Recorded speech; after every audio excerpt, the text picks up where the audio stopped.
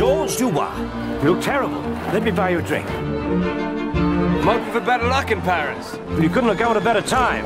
Paris is filthy with money. Why don't you come to dinner? Come and meet my wife.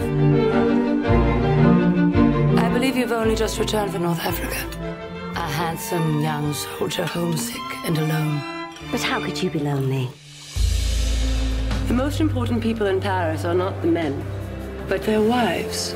What do you enjoy? Everything. Call on Madame Rousset. She likes you. Good. What brings you here? I'm gonna see you again. I miss you so much. Bel Ami, I thought you'd forgotten me. Josh. Does your husband tell you you're beautiful? I brought you into my home. I fed you. I clothed you. And how do you repay me? Clotilde or Virginie? Or both?